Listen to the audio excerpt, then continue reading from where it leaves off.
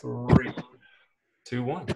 Uh, hello, everyone. This is uh, Brennan Hodge, and this is uh, Citizen Health Talk number 17 Social Media in Healthcare.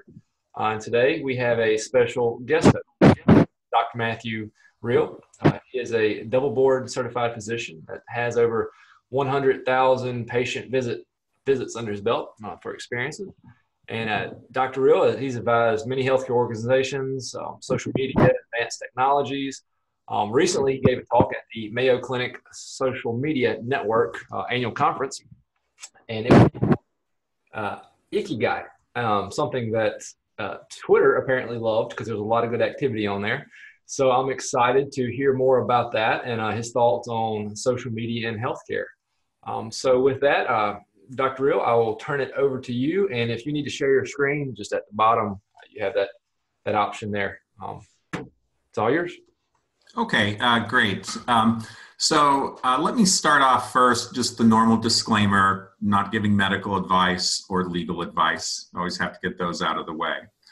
Um, I want to start broadly with a, a controversial statement, and then we're going to narrow things down, eventually down to Twitter and physicians, but we'll start very broad.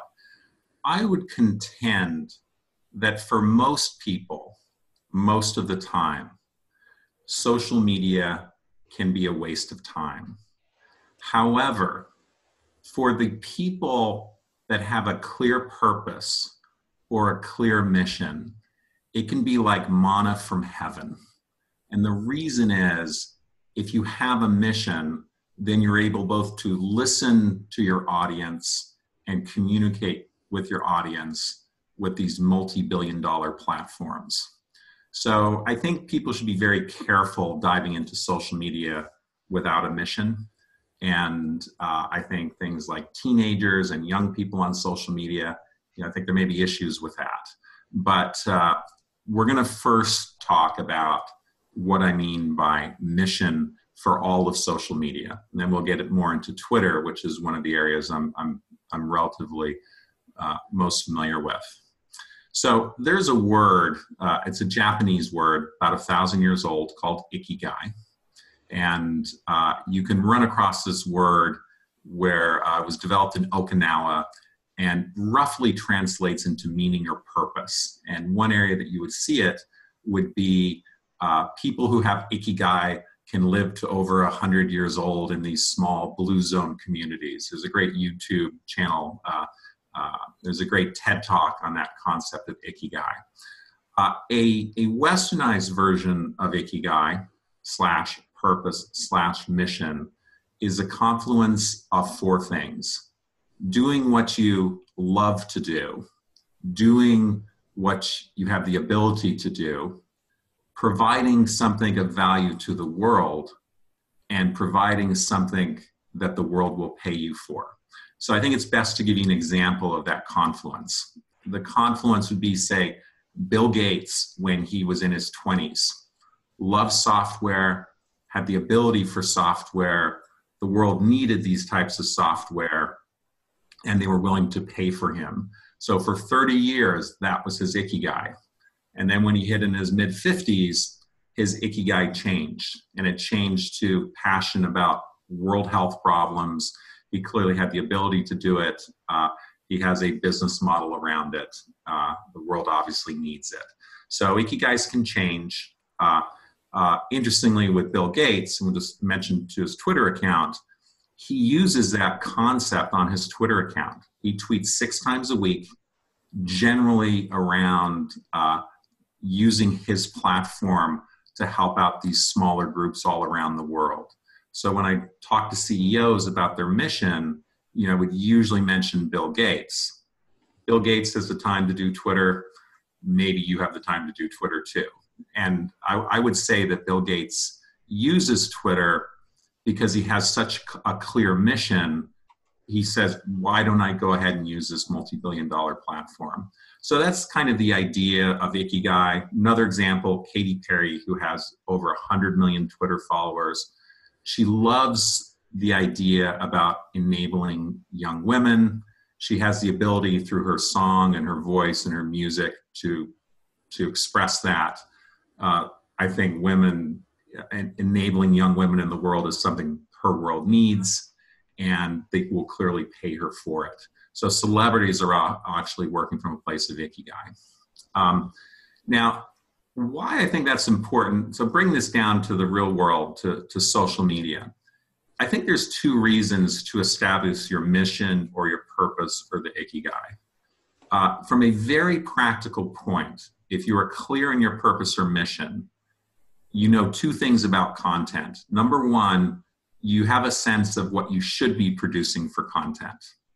Perhaps even more importantly, you have a sense of what you should not be producing as content. So uh, for me, my Ikigai really revolves around understanding how health and health 3.0 technologies interact.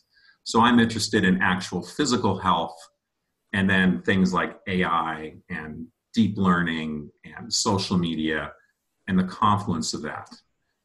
What is not in my ikigai, my career ikigai, is say politics. It's not that I don't have strong political views, but they have no place on my social media because my social media uh, is devoted to my mission or purpose, which is not to be a political advocate. For some people, including some physicians, they like to be in the political sphere. And, and that's fine. But I think if you do that, you should be very intentional. Uh, and one thing that shocks me is these physicians, they have this great medical platform, and then all of a sudden they start weighing in on politics, I think just inadvertently. And I think they lose something with that. They might lose 50% of their they might have a mission to lower cholesterol or they may have a mission to improve vaccination rate but they'll get into a political storm and right away they'll lose 50% of their audience depending on what hashtag they use so i think you have to i think that the one piece of advice when, when i have a physician or an executive in healthcare come to me and ask me about twitter or facebook or youtube or podcast i I think 90% of the time should be trying to clarify what they are trying to do. Does it have those four parameters? Are they passionate about it? Is it something they can do? Uh, what is their world? And the world doesn't have to be the big world. The world could be their community. It could be uh, a community of physicians. It could be a certain community of patients. Uh, and then finally, what is their business model? If they can't ask, the, if they can't answer those four questions, then you know probably they're not ready to dive deeply into social media. Um, a good rule of thumb, and and I use this all the time. If you do not have your personal mission statement written down in your pocket, uh, maybe on your iPhone, maybe in your wallet, you probably have not. If if you probably do not have clarity of mission, okay, at least and and certainly your organization if you go to any organization's website they've got they've spent the time on a mission statement but i'd contend for personal use of social media it's worth an afternoon to clarify your mission before you dive into social media and if you can't write it out or if you can't say it in one sentence to someone you just may not have it and i think then you'll get distracted with social media and less efficient with social media. Okay, so anyway, that's that's so that's the background of the importance of mission. I'm going to stop here in a couple minutes to get some questions available, but let me just do one next part. Uh, let me just move this down to Twitter, for example. And Twitter is a platform, and we have some physicians here and some non-physicians here. Um, there are a couple advantages to, I think, to Twitter as a key social media platform. Um, uh, one, it, it is a very, it doesn't require a lot of time either to learn it or to do it. Now, there are lots of advanced functions of Twitter, but basic Twitter, you can ramp up on Twitter in 30 minutes and you can learn how to do things in 30 minutes and you can tweet in two minutes. I'd contend that other platforms like Facebook and YouTube and podcasts, they're, they're great if, if they're focused in the right direction but there's a quite a big ramp up time. So for most physicians, most of the time, you know, Twitter I think is a good entry point. It's clearly mobile friendly, and I'd say their platform is principally mobile. Uh, the one advantage with Twitter is it is a great social listening tool, and by that I mean you may never want to tweet a day in your life. But if you construct your account appropriately, you can listen in a very organized fashion to people that you want to hear from. And for physicians, it might be certain specialists or specialist organizations. It can actually be a time saver strictly as a listening tool. It's also a great tool to just listen to community. Um, for physicians in particular, but for RNs and other people that attend meetings, there's not a meeting now that you go to that doesn't have a hashtag associated with it. And if you if you prepare for the meeting appropriately beforehand, your social media strategy for a meeting, it is a great way to connect with people in the meeting. Uh, you're following hashtags, you can direct message them. Uh, I think Brennan reached out to me because of my Twitter activity. That's how he first reached out to me. All right. So it is a connection tool with a little bit of preparation. Uh, uh, I think that with lists are one of the keys we'll talk about later that make it highly customizable and, and make it a very efficient tool. Most of the time, if I'm looking for content, I'm working from my lists. Uh, uh, the uh, it's also photo and video friendly. Uh, photos and videos are underused on Twitter, but nearly every time at these large conferences I go to in healthcare, I find that incorporation of photos or videos increases the engagement by a factor of five or 10. So if you can do a 60 second, a 20, 30 second video, you might have two or 300 engagements as opposed to a, a written tweet. And sometimes a, a, short little video or photo is much easier to create than actually a, a, a written tweet. Um, and finally, uh, from a systems point of view, if you look at Twitter, uh, if you're into control systems and engineering, and I reach back to my old days about nodes and networks, Twitter is actually a connecting node. It can connect just about any platform that you want. So uh, it's very easy to tweet LinkedIn and YouTube. I think that's why it's so powerful as an initial entry point for social media. So any any questions so far? Uh, no questions, but I will agree with all your points. Uh, I use Twitter the same way. Uh, yeah, I use it as my news feed. There you go. Where I get my news. Actually, funny enough, when I started getting into more and more social media after I, I recommended a book in the chat there, um, I started learning about more and more. I actually signed up for the Mayo Social Media Network as one of my mm-hmm. first things, and actually did the um, certification right. uh, that you guys have and everything. That actually pushed me to join Twitter. Actually, just a year ago last week. So I've only been on Twitter for a year. It's changed everything. Um, my career path, the people I've connected with.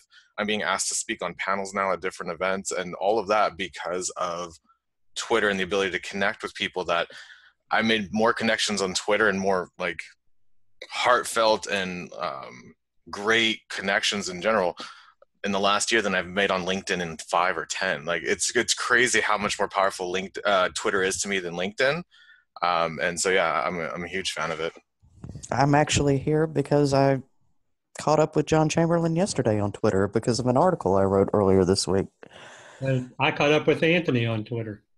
I think we all connected on Twitter. so you can did. see uh, that. No, Matthew actually, and I did. Both Matthews.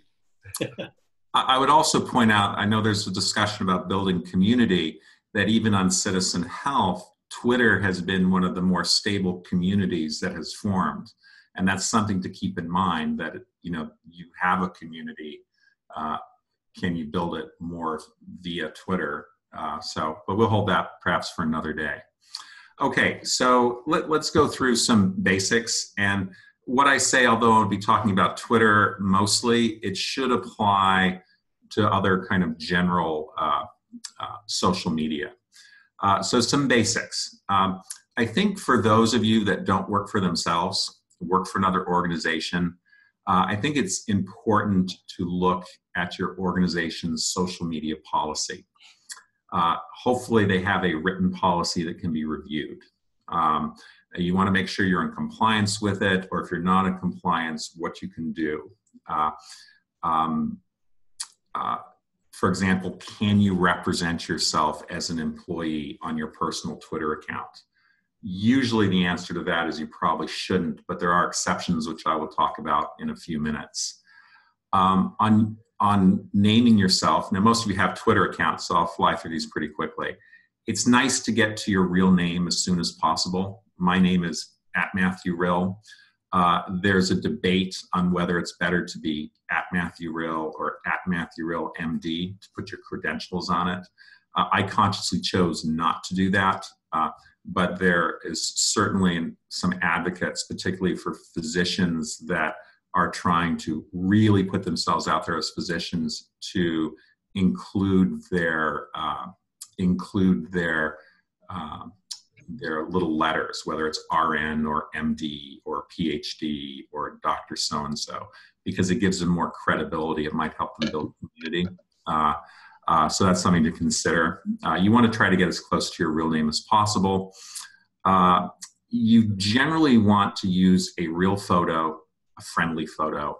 Uh, they have looked at Twitter before, and you know follows. You're going to get followed more if you have a real face and a friendly face than a cartoon character face. Uh, uh, so you want to take a look at your photo, establish a nice, friendly headshot, and just make sure it's the one you want to use. It's nice to keep that photo consistent over different platforms, uh, but uh, use a real photo.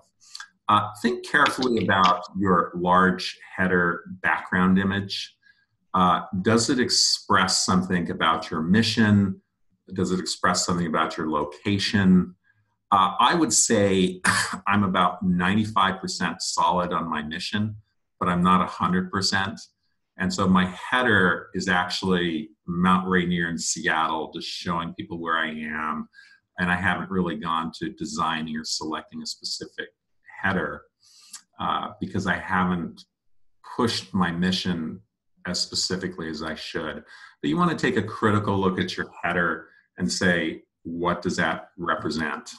Uh, for a profile, there's a good book by uh, Guy Kawasaki on this. Uh, on your written profile, um, keep things simple and really express who you are.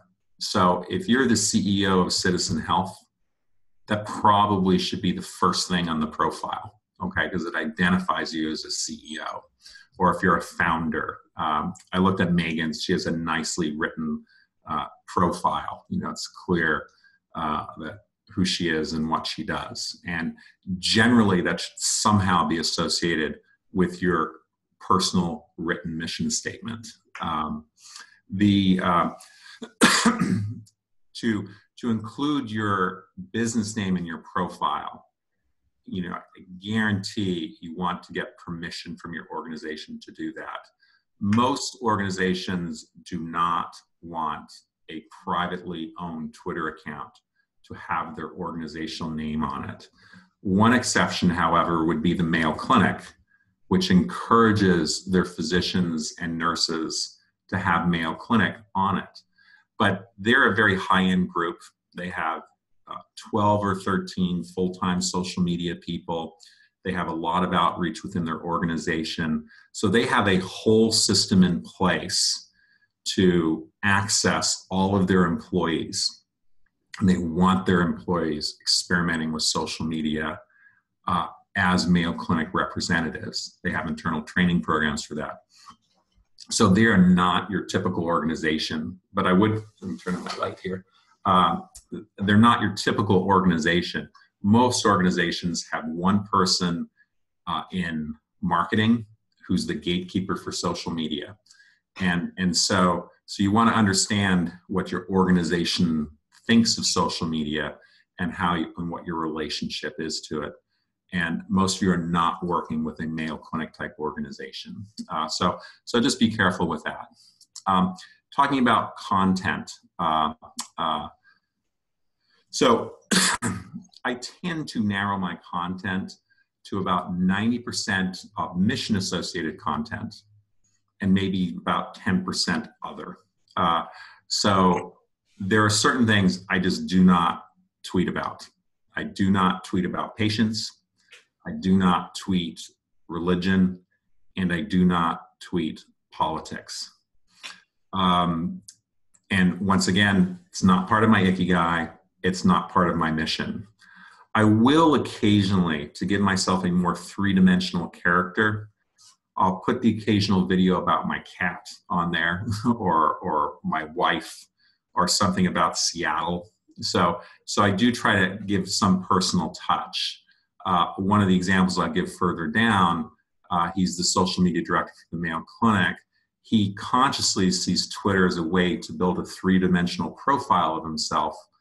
And, and so he's using that differently than, say, someone who's using Twitter to fulfill their mission. And we'll, you can uh, hopefully have an example of him uh, later.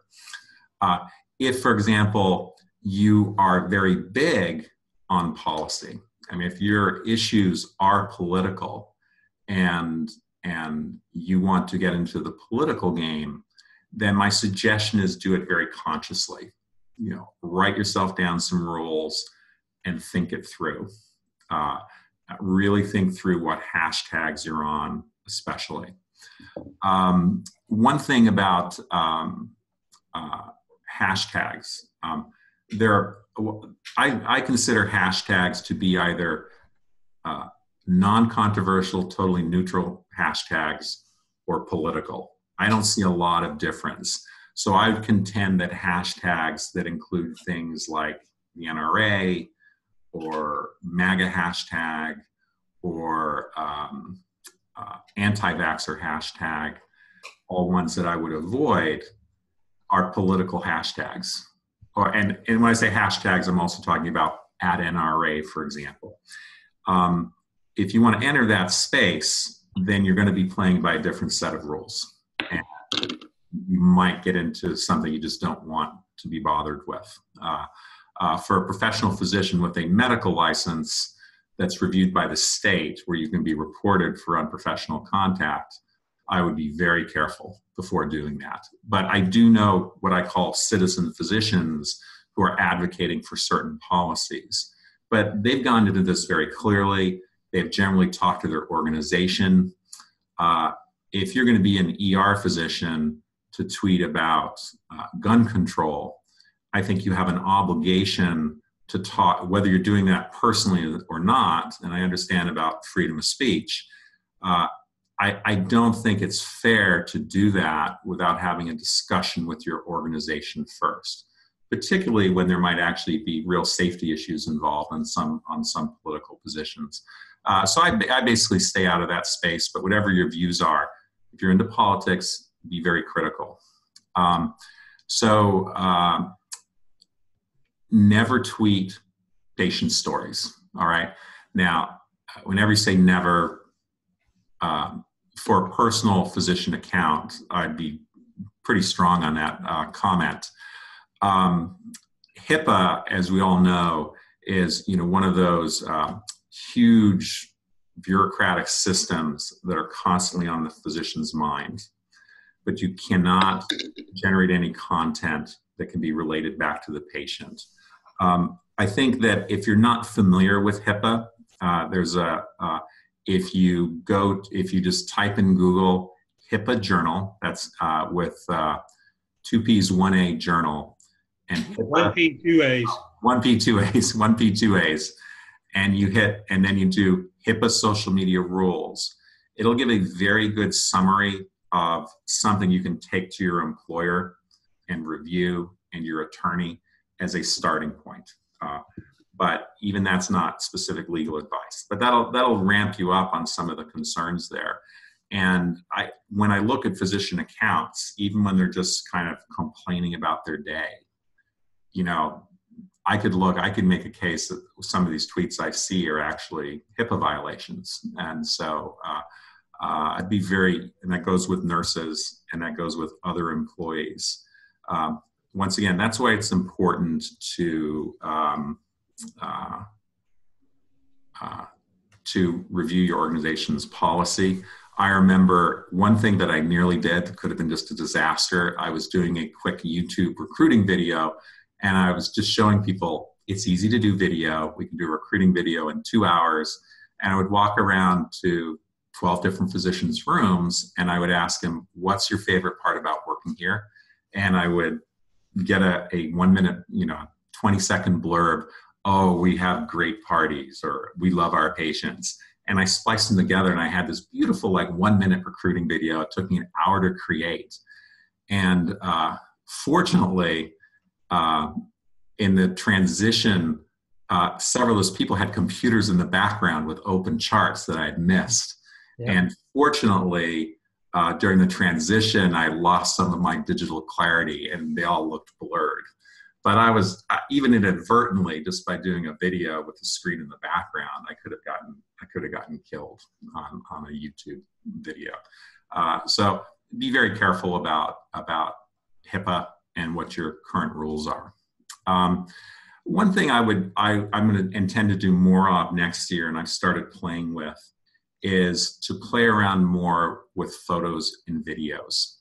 I think once you get through the process of, of doing videos on Twitter uh, and and using photography on Twitter, uh, uh, you'll get a lot more engagement. Nearly invariably, you get five to ten times more engagement with a a very brief 30 second video.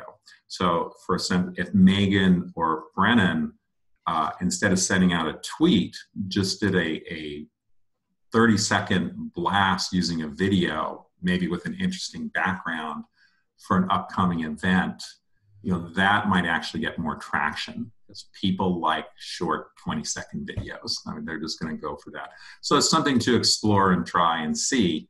And uh, uh, there's something very fundamental about the face and the voice that's very appealing and they begin to know you uh, so uh, short little videos on Twitter, uh, especially for things like we've got this upcoming event or I'm really enjoying this. Uh, um, probably will give you a lot more traction on Twitter for for free, and it's actually faster sometimes than typing things out. Um, your you can get more content with your phone than you can on your computer screen oddly enough. So you can do a, a, two minute video on your phone, but you can't do that on your uh, computer. One so Twitter is a mobile platform. Okay, so any any any questions so far? Good stuff. I think most of you, you know, it's good speaking to people because I know you're all on Twitter, so you have a sense of it. And and I'm not trying to change your game. I'm just trying to nudge you to try a couple different things. Um, all right. So next thing, I just want to give you, I think the the two keys for me uh, for Twitter. I've alluded to them before, but one is your lists.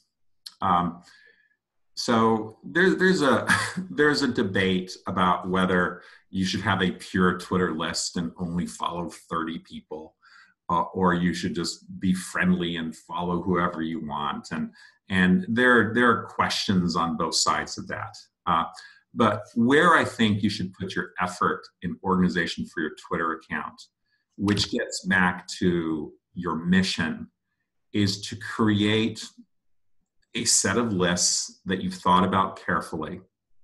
And then when you do follow someone, put them in the appropriate one or two lists.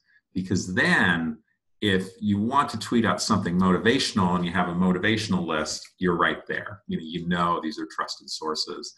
Uh, I have lists of say big thinkers where I can look at if I'm looking for some different ideas. I have a list on obesity medicine where you know I only follow people who I trust as obesity medicine sources.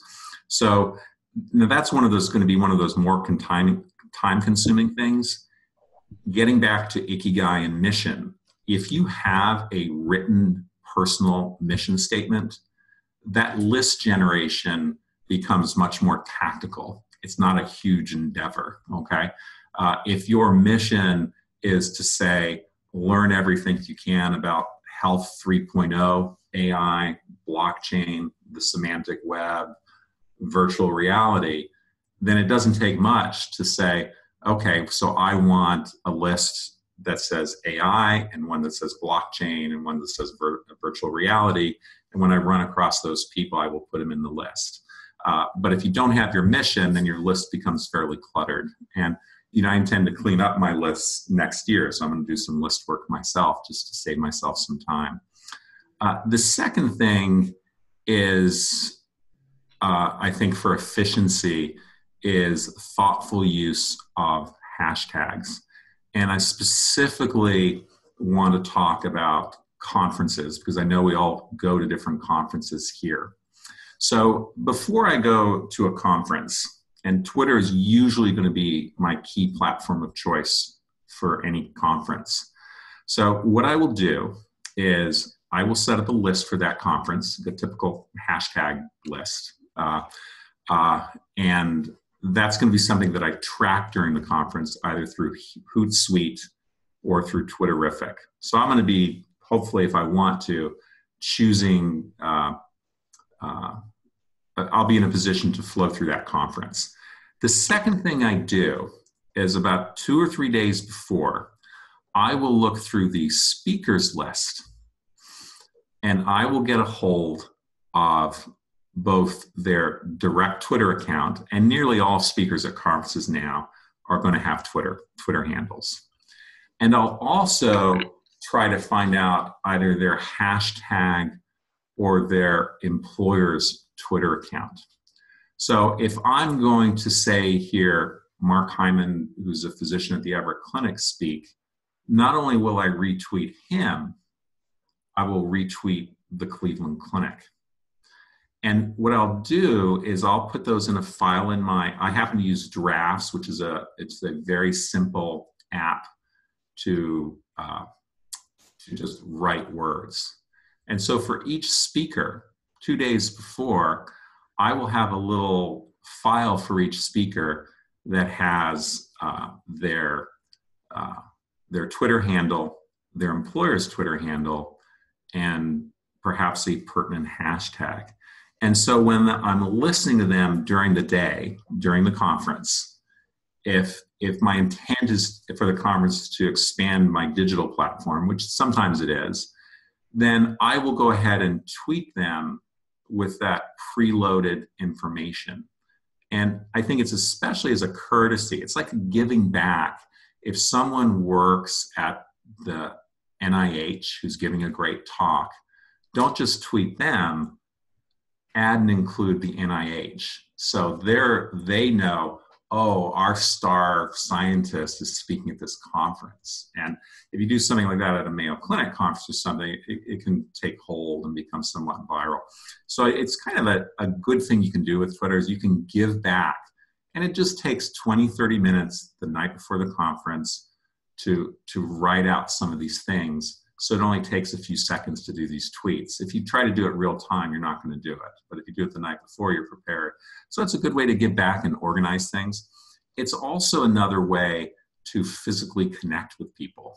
Because if you retweet a nice tweet to someone, it's a great introductory point to going up to someone who might be some big mucky muck and say, "Oh, I just retweeted you, uh, Deepak Chopra," you know, and so uh, so it's a nice way to connect in terms of, and I learned this years ago, but in terms of, um, for those of you who are into control systems and network and topology, nodes, when they communicate to each other, there's a strength associated with that connection. And it may be more one way than the other. So my CEO, when he sent an email, everyone reads it.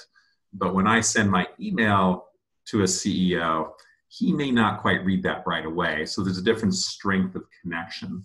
So what I found with um, with all social media, but especially Twitter, is if you can establish a physical face-to-face relationship with someone, then your digital connection goes up exponentially. So in my example with the Mayo Clinic people, although I connected them all initially on social media, after I went to a conference and met them face to face, my value of that connection increased exponentially. Next thing you know, I was on the speaker selection committee. Next thing you know, they were asking me to speak. So um, try to make physical connections when you can to strengthen your to strengthen your uh, digital network. All right, any questions for anyone so far? Uh, no, but just some comments. you, really uh, hit the nail on the head with that last statement.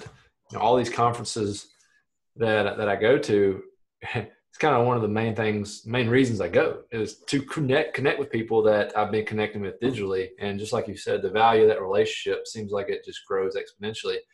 Because now you can not only put a face, like a, a human being, but a voice and a personality behind that digital personality. And uh, from my experience, those connections have been much greater since then. Uh, it's kind of fun too. It's like, hey, I've been seeing you. I've been retweeting your stuff the past three years. Yeah. Yeah, it's it's a. Uh, some people don't need resistance to meet. You know, have have no resistance to meeting people, uh, but for those that do, it's also a great way to do that. Okay, uh, so I want to I want to talk about four examples, and these are all people that uh, uh, Megan might be able to put these up on the screen. Um, but I think these are people. I, I contend that a great way to learn about social media and Twitter in specific is follow and analyze your betters and see what they're doing and how they're doing it. Uh, one uh, specific example uh, is a, a, man named, uh, he's a physician named Neil Floch. He's a bariatric surgeon. And uh, the, he has roughly 100,000 followers. And most of what he tweets about is obesity the value of surgery, and much of the new content coming out. So he'll he'll be a speaker at Obesity Week. He goes to all the major conferences. He knows all the big players in the obesity community in the nation. Uh, I contend that's part part of the reason he has hundred thousand followers because people recognize that his tweets are going to have fairly valuable expertise. All right, so um, so he's a good example of someone who's on a mission to advocate for bariatric surgery as an intervention or near cure for uh, uh, uh, cure for obesity, and he, just a good you know and and very valuable. Generally, has uses evidence based medicine a little bit of light tweets here and there, which which I think is appropriate. You won't see him tweeting about um, gun control. Well, he actually may have once tweeted about gun control. I shouldn't say that, but but generally, he he has a fairly narrow mission. Another one, another hundred thousand Twitter doctor uh, that most of you are aware is Eric Topol, and uh, I'm sure most of you all follow him or are aware of him since he really uh, is associated with this healthcare 3.0 blockchain AI community. Um, he also, he's not quite as narrow, but he's very futuristic and visionary. And he's very big on tweeting evidence based articles and highlighting them. So he's a great source for a feed to understand, uh, to, uh, to follow what's going on. Uh, he has certain bias, I think, in, in some areas uh, that I've noted. Uh, but um, uh, once again, he's clearly fulfilling his ikigai and his and his mission uh, when when he engages on uh, on social media. And he's also a writer, so he's not just his platform isn't just that. It's he's also using it as a, a writer's platform to develop expertise. So you can see his look. If you look at his top panel, he's got his books on there, and he got he's producing another book coming up, and he'll tweet about his upcoming book. So Twitter can be extremely valuable if you have any desire to be a writer. Now, whether or not he has a mission statement in his pocket, I don't know, but uh, I'm sure he has a mission statement in his in his brain about what he's trying to do. Uh, the next one is very interesting. Um, it's uh, Julie Silver, MD, and uh, she is a uh, professor at uh, Harvard. She's a specialist in rehab for cancer. She's the director of the Physician Writers Conference that I go to every two or three years, uh, where they talk a lot about social media. Uh, but um, she's also uh, the head of a, a yearly women's conference in healthcare and uh, she, so she could actually tweet about a lot. She could she could tweet about cancer rehab. She could tweet about writing, but the prominent thing that she works with is she works with uh, gender inequality within medicine and healthcare. And so most of her content centers around that. And, and this is this is in a sense it's it's political activism and she's going into it very intentionally and very clearly uh, and very uh, it's not highly emotional she she refers to and she's very supportive of women in that community uh, she likes to co-author papers in this subject so she does research into this subject uh, one of the things she does is she may um, uh, research different different organizations to figure out what their balance is of women authors versus male authors, and she will inform them and let them know. It says, you know, you are not publishing women authors in this field. Maybe you should take a look at, at how you're screening policies and applications. So, so uh, she's very good. Now she has uh, what ten or eleven thousand followers, but they're very. She's in a. She's built a community around this, and she's actually built hashtag communities around this and is clearly one of the national leaders in gender inequality for uh, women. And uh, she's building her platform around it and now has a conference surrounding that. Um, the, uh, the next one uh, is a friend of mine, is Farris uh, Timimi, and uh, he's the social media director and uh, a cardiology cardiologist at the Mayo Clinic. His as a cardiologist, he's, he teaches he's the instructor for fellows that specializes in end stage congestive heart failure and transplant. So he's a super high end dealing with the sickest of the sick patients. But he doesn't tweet about that. He's a he's a Mayo Clinic social media medical director. So he is actually assigned as an MD to work with all social media for the Mayo Clinic. But he doesn't tweet about that. What he does is he uses Twitter to form a three dimensional picture of himself. So he will occasionally tweet about his family or the events that he goes to. Uh, uh, so he has a much softer Twitter account that isn't narrowly focused. Uh, and he's the one that came up with that term. I want to have a three-dimensional representation of my of myself on Twitter so people know who I am. Now you notice he only has seven or eight thousand followers, and that's because I think it is a diffuse focus but it's an intentional and conscious use of social media. Um, so anyway, so those are those are four examples that I think are informative, and that you can you can look at and say, what can I learn from those people? Uh, not many of them use video, which I'm surprised at, and I, I do think video there's a lot there that we're not doing with it. Um, so anyway, to just kind of summarize, um, uh, one thing you might want to do is look for strong Twitter accounts and see what they're doing and follow them critically as a social media analyst and, and experiment with that. Uh, the second thing and the final thing that I'm pushing for for myself next year, and it's one of my goals, and I'm working on my next year goal list, my written list, is I'm trying to become more kinder and more positive. Um, when I was a physician, clinically practicing seeing these patients, uh, you can get very wrapped up sometimes into things like outcome and are they going to be safe and what's the best care and should they be driving and can I manage this patient at home with their blood clot and and I would have like 99% of you know you know I deeply cared about these patients not going bad and living. And I deeply understood that this mother has a kid or this kid has a mother you know i cannot make a mistake in this 103 fever. And i wouldn't sleep on it and i'd worry about it. But i, I was so worried about outcome that i tended to lose bandwidth on just being kind to people you know because i was i was putting out everything up to a very high level. And so if i have one regret leaving clinical practice it's that i didn't fully use my kindness bandwidth mostly because I was deeply concerned about the patient. Um, and one of my goals is to be much kinder on social media. So uh, even when, say, um, you know, people can be very critical, maybe appropriately so, about, say, insurance companies or about these big megalithic healthcare structures, you know, and I think there's a lot to criticize about them.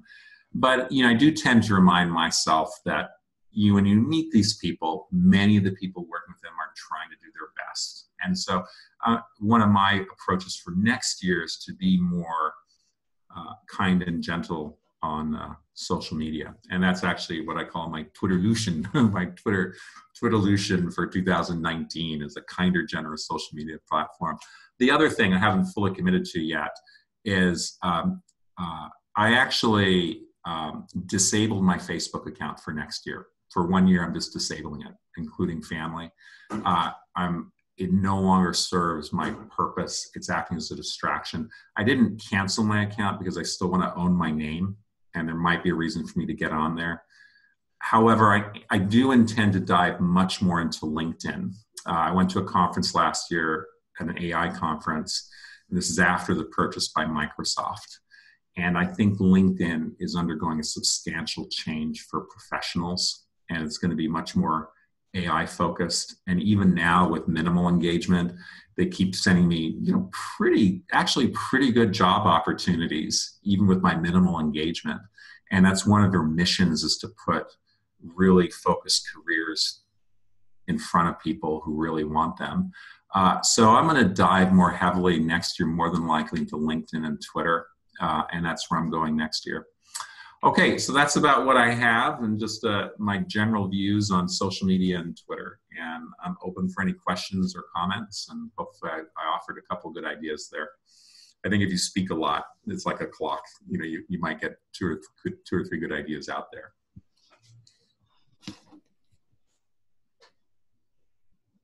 Brennan, you're muted. How about that? Okay. Yeah, as you were talking, I took some notes, and uh, I'm kind of in the same position right now with planning my mission for next year and, and what the mission for Citizen Health and really the, the, social media focus, building our community. So I took notes um, kind of around the ideas of you know, what are the themes going to be for the tweets that I put out there? You know, what ideas that am, am I trying to cultivate and uh, condense or uh, to share out there? Um, so, like I said, I'm taking notes, and that's my strategy for the rest of this year is to uh, figure out a strategy for next year. Um, so, I definitely appreciate you sharing your ideas and your thoughts on there. And a lot of them resonated with me. That's kind of we use Twitter the same way. And one thing that really surprised me is kind of right when you started the talk is every single one of us right now listening that we're talking with, I think we all met on Twitter, like every single one of us. And you got me thinking about all the relationships over the past year that I've formed. It's really all been on Twitter, and I've taken that for granted. You really don't think about that. And uh, you know, Facebook, I agree with you. I'm pretty much done with that. What was that? Uh, that one saying? Uh, Facebook is the family you were uh, born into, and Twitter is the one you the family you select. Something like that. Yeah. Somebody. Um, I'll say for community building, uh, there, uh, if you go to Symplur, and I know most of you are familiar with Symplur, it's a uh, healthcare website which lists and documents medical hashtags or healthcare hashtags. But um, there's a community around, say, an obesity chat group, which meets once a month, that uh, will have a topic and there will be a fair amount of high engagement on that. Um, so um, Twitter chats might be a light thing to experiment with, with minimal investment of time as community grows. Uh, uh, and whether that's blockchain healthcare chat or I hate EHR healthcare chat or what, whatever it may be, you know, there, there may be a way to use, since you already have, since everyone on Citizen Health at least in this group, already has um, a presence and comfort with Twitter, you know, that's an area where it might be relatively easy to build more of a community. So, what's your advice on the trolls? Because you know it's it's going to happen. You know, once you start posting some some ideas that you uh, that come from you, you're not just sharing things from other people you're going to have trolls that come out. And I see some people, they get drugged down the rabbit hole by going back and forth with the trolls. Uh, uh, how do you, like, I don't know, how do you deal with them? All right. So, and, and I've been susceptible to that in the past. But the advantage of having your written ikigai okay, having your written mission, is you look at that and you say, is engaging with this person, does it help me fulfill my mission? Or is it just a distraction? And nearly always it is a distraction. So you just let it go. And so, so I think that getting back to that starting point, there is a huge power to writing down your mission statement because nearly always a troll is to be ignored. Mm-hmm. Now, there there might for organizations there can be exceptions to that, and and how you get how you can use your organization to accept patient complaints on social media. Uh, that's that's really a separate conversation, uh, and there's also HIPAA concerns with those things. You know, so so you have to have a system in place at an organizational level. But generally, if if their mission is to troll me, all the power to them. It's not my mission. You know, I, I've got other. Life is short, and as you get older, uh, you know, being kind is one of my missions, and I don't want to upset anyone. Uh, uh, now, I I also specifically avoid uh, a lot of the political hashtags, and that's part of the reason I do. It's not part of my mission, so I would ignore them. I think if I if you can, there's you can look through the Twitter if you look a little deeper, and you can screen out a lot of words and a lot of people just by making appropriate lists. You know, a lot of four-letter words. You can just remove those from your time stream and you can block people pretty quickly. And so I'm pretty liberal with that stuff, but I don't I don't really give them much time of the day. So this one thing you mentioned list. That's one thing that I need to work better on because uh, lately I've been just going into my Twitter feed, seeing a bunch of random stuff. You know, some people tweet things that I find relevant, but without cultivating those lists, if it's just a free stream of people, yeah, it come it feels like a water hose at some point, or uh, like coming out of a fire hydrant. So uh, that's one thing I definitely need to work on is getting the, the list going. So I appreciate the primary Twitter app is not great for looking at lists. A little too many buttons. Uh, Twitterrific is actually very good to look at lists. Okay, uh, so the app Twitterrific I find is it's just very quick to get into your list, and it's what I use the most at the conferences.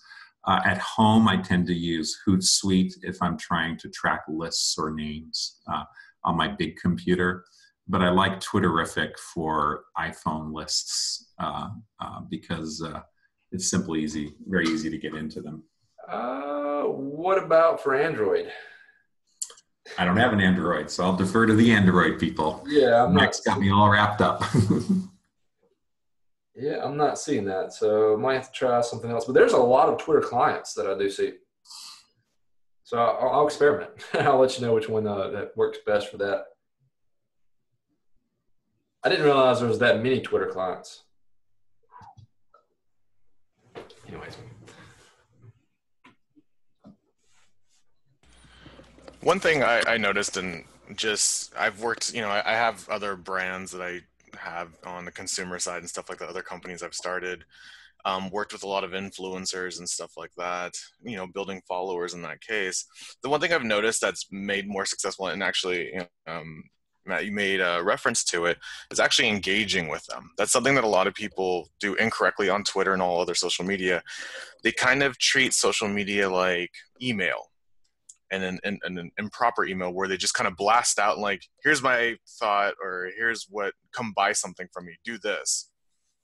They don't actually engage. There's all of a sudden there's questions or comments people actually engage trying to engage with them and the brands or the personal brands you you myself and everyone else don't actually engage back there's no connection there and it's a lost opportunity there's other ideas where like twitter chats you can actually participate in them and you'll actually build your followers that way too. So actually engaging on these platforms is something that's honestly not utilized enough of.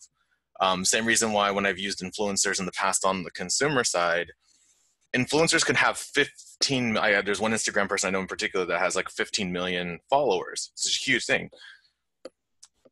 Hardly any engagement and when they try to push a product not that great response from it where i have someone that has like 30000 followers on instagram which is small comparatively to 15 million i get a lot more sales out of that smaller person because that smaller person engages with every single one of their followers and has a community built within that. So that's where that power is is in that community that they've built. So a lot of times you know don't worry about the follower count. Make sure you're engaging and build that community meet them in person at these events and stuff like that. That's where you get that strong following and that just grows and grows and grows organically versus just trying to do the follow unfollow game that a lot of people do and you see it like there's a couple of healthcare brands I won't mention on here, but you see them follow you every couple of days and then remove them, then they'll follow you a couple of days later again. It, that's usually via bots and stuff like that. But uh, there's a lot of great ways, and engagement is something that I feel like is lacking on a lot of people's parts.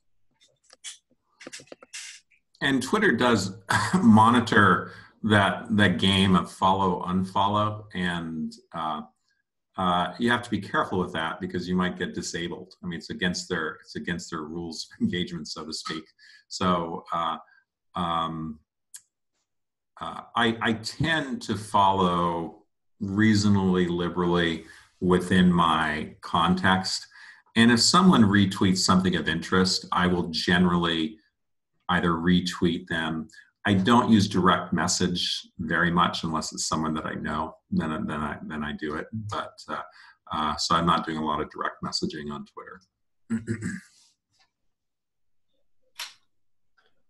I think too, just starting a conversation, um, posting a question can be great to your community and getting people involved that way, getting engagement that way on some sort of topic, be it around anything. But I think that just starting a conversation, like even in the forum, uh, Matthew, you posted about the six minute walking test. That would be a great place even to start. So even something that you're interested in or you'd like some more feedback on, um, just posing a question and saying, hey, what are your thoughts on this? Or give me some feedback on this.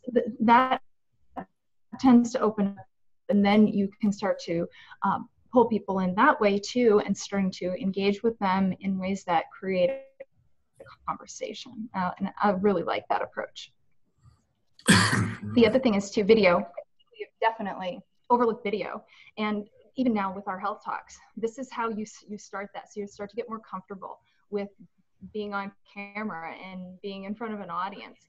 And definitely your engagement will go up. And I think we need to do that too in, in citizen health is to pull some more, uh, just even short videos and short video clips but don't don't hide because this is a great way to build relationships and strengthen relationships through the use of, of, of, video. And it makes you too it's a person. We can see more of your personality and who you are. So don't be afraid. And I, I would challenge everybody out there to do a very short clip 20 seconds and, and, and be, be the, that be the base. So start there and, and, and take it from there. But don't don't be afraid of it one uh, easy thing to, I think, help express your mission is see what tweets you have pinned.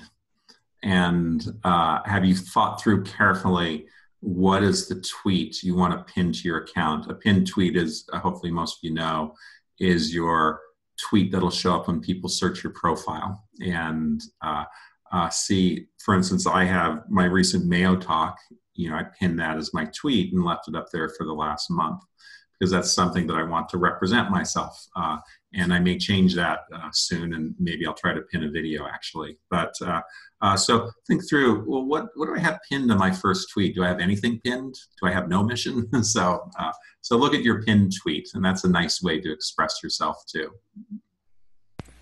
And usually the pin tweet you'll see as you go weeks and everything else, you'll see the uh, insights or the engagement on the analytics increase constantly because it's the first thing people see. Right. It, it usually gets the most likes and the most retweets out of anything else that continues to grow. And then, you know, as you go, if you get into start speaker panels and things like that, one of the strategies that exists out there for speakers is let's say you do a keynote or some type of talk that's 20 minutes, 30 minutes long. Typically, you can take that and break that up into some key talking points these little 20 second clips that you're talking about where you might have this great little sound bite and there's usually quite a few great sound bites in that 20 30 minute talk that you can now create a small video and tweet that again for months different pieces and start conversations around all of that so there's a lot of strategies utilizing because uh, obviously you guys are, are busier than I am. I, I, just work from home, so I, I, don't. I'm not as busy as you guys. But for you know, doctors and, and CEOs and everyone else that have like the time completely busy, you can take one talk and just break it down for months and months and months and retweet it and do these other areas and, and have content for you for a long time to come. So it, it's other great ways to do stuff like that. The creation of anchor content. What is your anchor content? I 100% agree with that, and something I need to improve myself next year. Yeah, Anthony, I was going back through all our health talks um, since this is the 17th one. Uh, that's over, that's a lot of, uh, so it's 17, 18, probably 19 hours of talking points, a lot of good clips from a lot of different people. And I listened to some of them yesterday, just kind of just stopping in the middle and listen. And there's a lot of good stuff, a lot of good speakers. I mean, over the past six months, we've had a lot of different people join us. So uh, yeah, I think we should start to kind of break those to pieces and uh, see what we can use. So absolutely, you you've had some great people speaking on here and doing those ideas, and get a clip from them. You can tag them on there. More than likely, when you tag someone that's speaking and everything, they're probably going to retweet it and you could tag certain key people like when you're talking about posting videos and stuff like that tag certain people that might be interested in that usually gets them to share it more and everything else that's all part of the strategy of just constantly going out there more and more and more so um, absolutely yeah there's a lot of great content from these talks here that you can absolutely just utilize that way you're not just sitting on waiting for the next one and other things that of that nature. You, there's a lot you guys can absolutely do and continue to grow. Like I said, you guys have an awesome mission and everything else. Now it's just continuing to get out there more and more. So, on that note, uh, what we're we're trying to to build a community. We've been paying attention for the past six months. I've been trying to find the right platform to do that on. Went through a couple different forums. I'm trying to find something that's a little more longer form than Twitter, something that has more staying power, where we can dig deeper into our thoughts and kind of iterate on that, have more conversations that are searchable and indexable through Google. And uh, like I said, we experimented with a few things, but now I came across something called uh, Mighty Networks. I don't know if anybody's heard that. Uh, the founder of Ning, a social network before Facebook, um, started this, and we've actually launched um, a community on their platform. And there's a link on there if, if everybody wants to take a look at it. It's hq.citizenhealth.io, so headquarters.citizenhealth.io. It's really nice. Like, uh, I'm, I fell in love with this as soon as I started using it. It's really built for maximum community engagement. So you kind of have a news feed and messaging features, you know, post videos. You can actually have um, similar to tweet chats, you can have live chats with everybody in the whole community uh, it's really neat. And uh, I, I, think we're gonna we are gonna move forward with this to test this out, um, just because we're trying to find something that we can call home for our community and bring people to. And this would serve the place of, of the forum that we have now uh, and our Slack our Slack workroom that a lot of people communicate in and also our blog and potentially Medium. So really aggregate people into one central location where we can just be up to date with all the events like this, you know, everything that's going on with Citizen Health. So we're going to announce that probably Monday.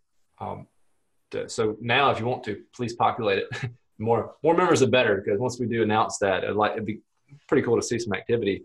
Um, but it's it's nice. So just wanted to throw that out there. That's very cool. Make sure you point every opportunity, whatever social media you guys have, make sure in that respect, make sure you're pointing them to that so they know where to aggregate. So you know, absolutely, you know, make sure there's always some type of call to action in whatever you're doing, or at least on your Twitter handle and everyone else that, that pushing them to the area you want to aggregate them on. So but yeah, it looks really cool. It has a very Slack like look meets yep. yeah, Slack meets uh, social media networks. That's pretty cool it's uh, it's different. You know, it's yeah, yeah. compare something. It's just something new and different. Yeah. So yeah, I'm excited to see how it plays plays out. Brennan, what is um, what type of community do you want to build? Just Good question. Uh, community of, uh, the digital community and speci- specifically, yeah. what's your? I would like to have different groups of people. Um, patients who are fed up with the current state of healthcare and do want to see it changed and do want to play a part in that. Patients that want to have a, a, greater voice in healthcare, and also the caregivers that play a part into that, and physicians as well. Um, people that uh, kind of really focus on the direct primary care side because those are the advocates for this model that we're trying to cultivate right now. Um, so starting with them um, and also developers out there. So I'm thinking, you know, the patients, the physicians, and the developers coming together to build the software we're working on and really just to to rethink and rebuild a new model for healthcare. Um, so, you know, I, I got that point in an email and I haven't responded back yet, but I do think it, it, it's a barrier to entry to download another app for sure.